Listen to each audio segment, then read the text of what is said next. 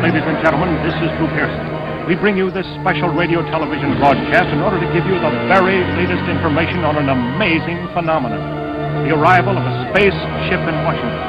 The Army has taken every precaution to meet any emergency which may develop. Just a minute, ladies and gentlemen. I think something is happening.